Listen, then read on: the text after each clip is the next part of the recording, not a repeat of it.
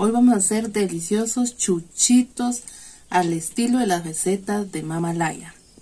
Son muy deliciosos y la diferencia con los tamales es que la masa de los chuchitos no va cocida, es cruda, ¿verdad? Y con su color característico, que es el color que se logra con el achote. Miren qué delicia. Muy bien, así que Empezamos.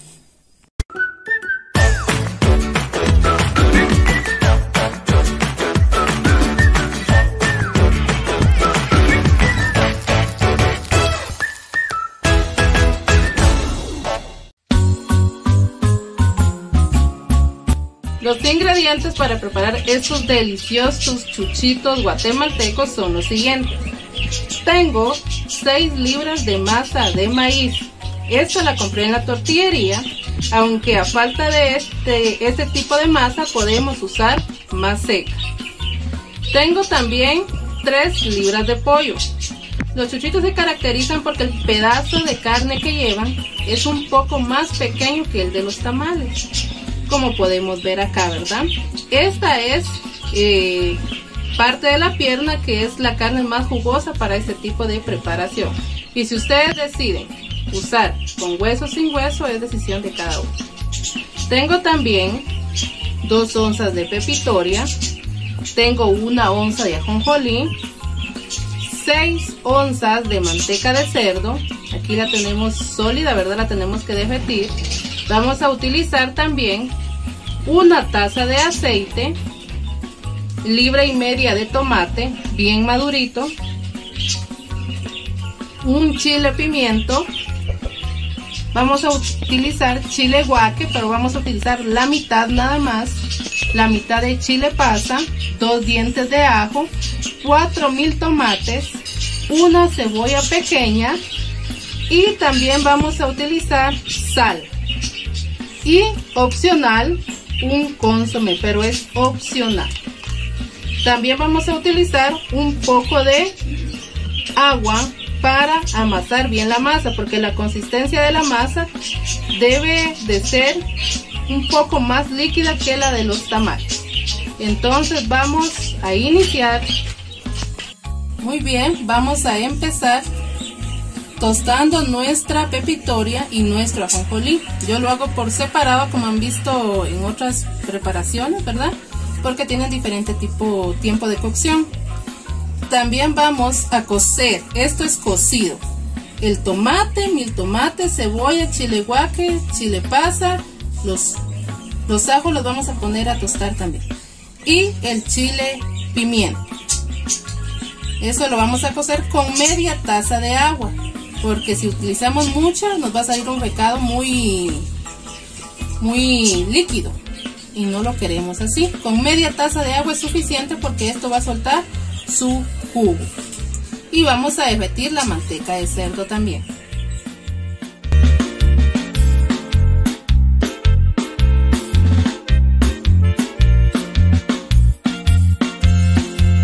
Aquí tenemos ya nuestro tomate, mil tomates, cebolla, chile guaque y chile pasa cociéndose con media taza de agua porque esto va a soltar sus propios jugos.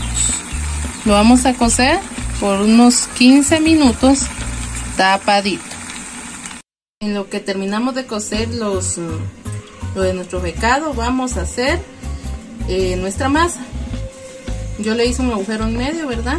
Ya derretí la manteca de cerdo. Se la vamos a echar.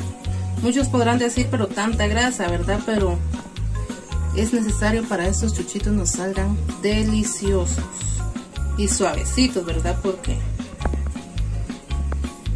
el aceite, una taza de aceite, le vamos a echar también unas tres cucharadas de sal. Esto lo van a ir calculando ustedes, ¿verdad? Conforme lo vayan amasando. A ver si les gusta, porque también es criterio de cada uno. Algunos nos gusta más cargado que a otros de sal. Y esa es decisión propia un consomé, ¿verdad? Pero es opcional. Y lo vamos a mezclar muy bien. Ya cuando lo hayamos mezclado vamos a ver si a esto le falta agüita todavía. Si nos damos cuenta la, masa está como chiclosa, eso quiere decir que le falta agua. Y le vamos a echar agüita, ¿verdad? Tiene que quedar bien manejable esta masa sin pegársenos en las manos. Está nuestra masa, en total eché 6 cucharadas de sal. Ya está cocidito nuestro becado. Y para que se hidrate y sea más fácil de licuar, vamos a agregar el ajonjolí tostado, la pepitoria y los ajitos. Mientras esto se enfría, para poderlo licuar. Mientras licuamos, aquí estamos sellando nuestro pollo.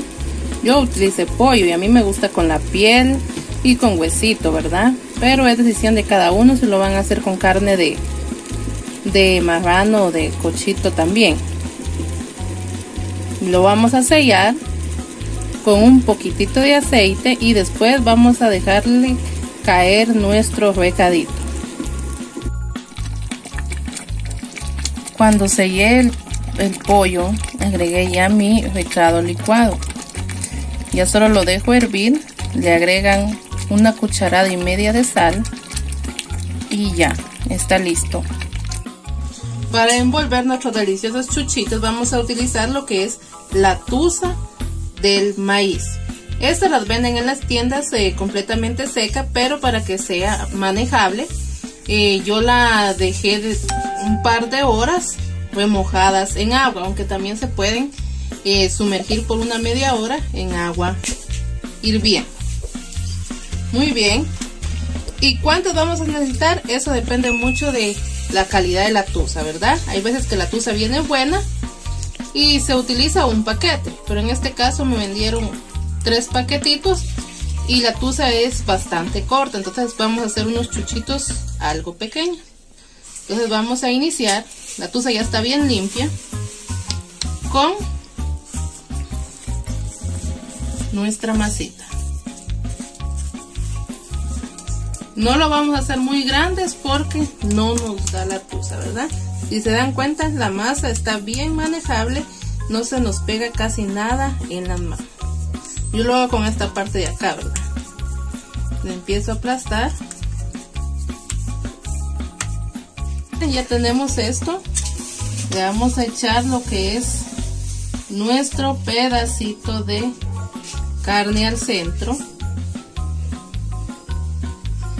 un poquito de recado y lo vamos a cebar.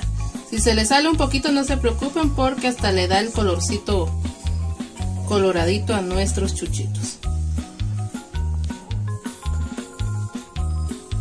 Ahí está, miren, como en este caso. Yo se los termino de regar mejor. Y lo vamos a meter en nuestra vamos a doblar bien. Lo voy a hacer despacio para los que son novatos en este proceso. Doblamos eso hacia arriba y lo amarramos con un pedacito de la misma tusa. Si les alcanza para dos vueltas está bien verdad le hacemos un nudito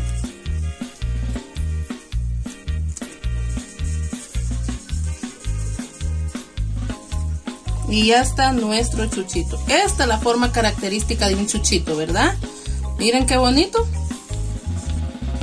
Vamos a preparar nuestra olla siempre una tapadera en el fondo para que no se nos peguen. Un poco de tusa de la sobrante. Y vamos a empezar a meter nuestros chuchitos. El agua que vamos a utilizar es la mitad de donde nos queden los chuchitos. Esa es la medida. Lo demás se cocen a vapor. Ya están puestos nuestros deliciosos chuchitos. El agua siempre a la mitad de donde llegan los chuchitos, ¿verdad? Y si ustedes le quieren dar el característico color anaranjado a la tusa, le pueden agregar unos una su onza de achote en semilla o un pedacito de achote en pastita como lo voy a agregar ahorita. Ahí se va a derretir. Muy bien, ahí está. De una hora a hora y cuarto de cocción. Después de hora 15 minutos de cocción, aquí están nuestros deliciosos chuchitos. Este es el color que. El color típico de los chuchitos es ese color anaranjado que se logra agregándole semillas de achote o bien achote en pasta. Los vamos a acompañar con una deliciosa salsa de tomate.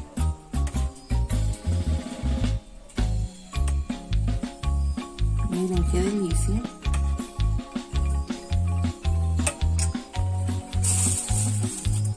Su quesito.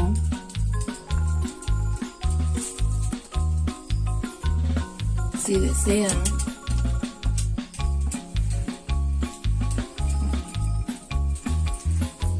cebollita morada y su perejil miren qué delicia para acompañarlo con un atolito o con un cafecito caliente. Si no se han suscrito a nuestro canal, los invitamos a hacerlo, a que activen la campanita de notificaciones, a que comenten, compartan y le den like a nuestro video. Desde Polono Viñas nos despedimos hasta una próxima ocasión. Muchas gracias.